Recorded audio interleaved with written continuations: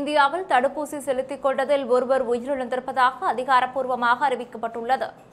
இந்தியாவில் இதுவரை பத்து கோடிக்கும் அதிகமானவர்களுக்கு தடுப்பூசி செலுத்தப்பட்டுள்ளது. அந்நாட்டில் கோவாக்சின் மற்றும் கோவிஷீல்டு தடுப்பூசிகள் செலுத்தப்படுகிறது. அஸ்ட்ராசெனிகா நிறுவனத்தால் கோவிஷீல்டு தடுப்பூசி தயாரிக்கப்படுகிறது. பாரத் பயோடெக் நிறுவனத்தால் கோவாக்சின் தடுப்பூசி தயாரிக்கப்படுகிறது. கொரோனா தடுப்பூசி போடும் திட்டம் கடந்த ஜனவரியில் தொடங்கியது. தடுப்பூசி போட்டுக்கொண்ட சிலர் எதிர்பாராத விதமாக உயிரிழந்தனர். ஆனால் அவர்களின் மரணத்திற்கும் தடுப்பூசிக்கும் சம்பந்தமில்லை என்றும் தடுப்பூசி போட்டுக்கொண்டவர்களுக்கு ஏதேனும் தீவிர பக்க விளைவுகள் ஏற்பட்டு அதனால் உயிரிழந்திருக்க வாய்ப்புள்ளதாக மத்திய அரசு கூறி வந்தது. அதே நேரம் தடுப்பூசி தொடர்பாக ஏற்படும் பக்க விளைவுகள் குறித்து ஆய்வு செய்வதற்காக மத்திய அரசு தனிக்குழுவை அமைத்தது. அந்த குழு தற்போது தாக்கல் செய்த அறிக்கையில் கடந்த மார்ச் எட்டாம் தேதி தடுப்பூசி போட்டுக்கொண்ட அறுபத்தி எட்டு வயது நபர் ஒவ்வாமை காரணமாக உயிரிழந்துள்ளார் என்று தெரிவித்துள்ளது. இது தொடர்பாக இக்குழுவின் தலைவர் என் கே அரோரா கூறுகையில் தடுப்பூசி போட்டுக்கொள்பவர்களுக்கு சிலருக்கு ஒவ்வாமை ஏற்படுவதற்கான அறிகுறிகள் தென்படும் அதனை எளிதில் குணப்படுத்த முடியும். அதனால் தடுப்பூசி போட்ட அரை மணி நேரம் சம்பந்தப்பட்ட தடுப்பூசி முகாமில் பயனாளிகள் அமர்ந்திருக்க வேண்டும். இதன் மூலமாக உயிரிழப்பை தவிர்க்க முடியும். கொரோனா தடுப்பூசி போட்டுக்கொள்வதால் கிடைக்கும் நன்மைகளுடன் ஒப்பிடுகின் பொழுது பக்க விளைவுகள் மிகவும் குறைவாகவே இருக்கின்றன. அந்த பக்க விளைவுகள் ஏற்படுவதை குறைப்பதற்கான நடவடிக்கைகளை தொடர்ந்து மேற்கொள்ளப்பட்டு வருவதாக தெரிவிக்கின்றனர். மத்திய அரசின் குழு அளித்த அறிக்கையில் பிப்ரவரி ஐந்தாம் தேதி தடுப்பூசி போட்ட பின்னர் மரணமடைந்த ஐந்து பேர் மார்ச்சில் ஒன்பது மரணமடைந்தோர் எட்டு பேர். மார்ச் முப்பத்து ஒன்றாம் தேதி மரணமடைந்த பதினெட்டு பேர் ஆகியோரது பிரச்சினைகள் ஆராயப்பட்டன. ஏப்ரல் முதல் வாரத்தில் பத்து லட்சம் டோஸ் தடுப்பூசிக்கு இரண்டு புள்ளி ஏழு இறப்புகளும் நான்கு புள்ளி எட்டு சதவிகிதம் மருத்துவமனை சேர்க்கைகளும் நடந்துள்ளன. தடுப்பூசி போட்டதால் மரணம் ஏற்பட்டதாகவும் மருத்துவமனைகளில் சேர்த்ததால் பாதகமான நிகழ்வுகள் ஏற்பட்டதாகவும் சில புகார்கள் அளிக்கப்பட்டதும் மதிப்பீடு செய்யப்பட்டது. கிட்டத்தட்ட முப்பத்து ஒன்று மோசமான மற்றும் பாதகமான நிகழ்வுகள் ஆராயப்பட்டன.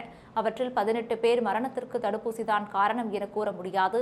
மூன்று பேருக்கு ஏற்பட்ட பாதிப்பு அவர்கள் தடுப்பூசி தொடர்பானவை என்பதை வகைப்படுத்தப்பட்டது.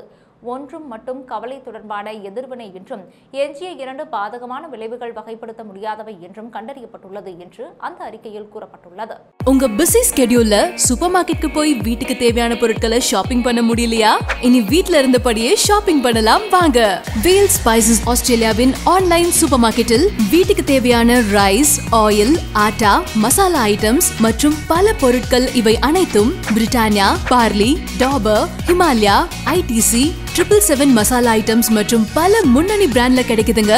இன்னும் எதுக்கு வெயிட் பண்றீங்க? இப்பவே ஆன்லைன் ஷாப்பிங்க ஸ்டார்ட் பண்ணுங்க. W W W dot Vel spices dot com dot AU home delivery all over Australia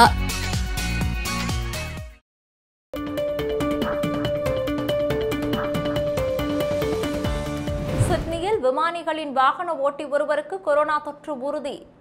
இதனால் தொற்று பரவல் தடுப்பு நடவடிக்கைகள் தீவிரப்படுத்தப்பட்டுள்ளது. இதுகுறித்து கருத்து தெரிவித்துள்ள நியூ சவுத் வேல்ஸ் மாகாண சுகாதாரத்துறை அதிகாரிகள் போண்டி பகுதியைச் சேர்ந்த அறுபது வயது நபருக்கு கொரோனா தொற்று உறுதி செய்யப்பட்டிருப்பதாக தெரிவிக்கப்பட்டுள்ளது. இவர் விமான ஓட்டிகளுக்கு வாகன ஓட்டியாக பணிபுரிந்து வந்துள்ளார். வாகன ஓட்டியுடன் தங்கியிருந்த ஒருவருக்கும் தொற்று உறுதி செய்யப்பட்டுள்ளது. இவர்கள் இருவரும் போண்டி சந்திப்பில் பகுதிகளிலும் அப்பகுதியில் உள்ள பல்வேறு வணிக வளாகங்களிலும் சுற்றித் திரியது தெரியவந்தது. இதனால் போண்டி சந்திப்பு உட்பட அவர்கள் சுற்றித் திரிந்த பல பகுதிகளை கட்டுப்படுத்தப்பட்ட பகுதிகளாக நியூ சவுத் வேல்ஸ் மாகாண சுகாதாரத்துறை அறிவித்துள்ளது. அண்மையில் இப்பகுதிக்கு சென்றவர்கள் உடனடியாக ஒன்று எட்டு பூஜ்ஜியம் பூஜ்ஜியம் ஒன்பது நான்கு மூன்று ஐந்து ஐந்து மூன்று என்ற உதவி எண்ணை அளிக்கும்படியும் உடனடியாக தங்களை பதினான்கு நாட்கள் தனிமைப்படுத்திக் கொள்ள அறிவுறுத்தப்பட்டது. நேற்று முதல் முறையாக பரிசோதனை மேற்கொள்ளப்பட்ட நபருக்கு தொற்று உறுதி செய்யப்பட்டுள்ளது. இந்த வைரஸ் எங்கிருந்து பரவியது என்பது குறித்து அறிய மரபணு சோதனை மேற்கொள்ளவும் முடிவெடுக்கப்பட்டுள்ளது. இதுகுறித்து கருத்து தெரிவித்துள்ள தொற்று நோய்த்துறை பேராசிரியர் மைக் டூல் அடுத்த இருபத்தி நான்கு மணி நேரம் மிகுந்த முக்கியமான தருணம் என்றும் தொற்று பாதித்தவர்கள் பல இடங்களில் சுற்றி இருப்பதால் உடனடியாக தொடர்பறிதலை துரிதப்படுத்த வேண்டும் என்றும் அறிவுறுத்தியுள்ளார். விக்டோரியாவில் ஏற்பட்டதைப் போல வெவ்வேறு இடங்களில் தொற்று உறுதி செய்யப்பட்டால் ஊரடங்கு அமல்படுத்தப்படுவதை பரிசீலிக்கலாம் என்றும் டூல் தெரிவித்துள்ளார். குயின்ஸ்லாந்து மாகாணத்திலும் தொற்று பரவல் தடுப்பு நடவடிக்கைகள் துரிதப்படுத்தப்பட்டுள்ளது. இது தொடர்பாக கருத்து தெரிவித்த சுகாதாரத்துறை முதன்மை அதிகாரி ஜெனன் டியங் நியூ சவுத் வேல்ஸ் மாகாணத்தில் கட்டுப்படுத்தப்பட்ட பகுதிகளுக்கு சென்றவர்கள் உடனடியாக தனிமைப்படுத்திக் கொள்ள வேண்டும் என்றும் உத்தரவிட்டுள்ளது. கொரோனா தொற்று பரவலை கண்டறியும் விதமாக கூடுதல் பரிசோதனை மையங்களை திறக்கவும் குயின்ஸ்லாந்து சுகாதாரத்துறை முடிவெடுத்துள்ளது.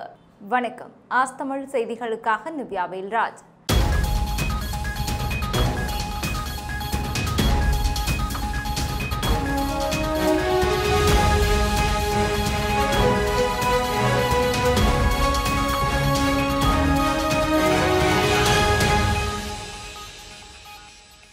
உங்கள் வியாபாரத்தை அடுத்த கட்டத்திற்கு கொண்டு செல்ல ஆசையா? கவலைய விடுங்க. அதுக்கு நாங்க பொறுப்பு. அனைத்து டிஜிட்டல் மார்க்கெட்டிங் சேவைகளும் கிடைக்கும் ஒரே இடம் வர்வ் இன்னோவேஷன் எங்களின் சேவைகள் search engine optimisation web development social media and online marketing மற்றும் பல. இன்னும் எதற்கு வெயிட் பண்றீங்க?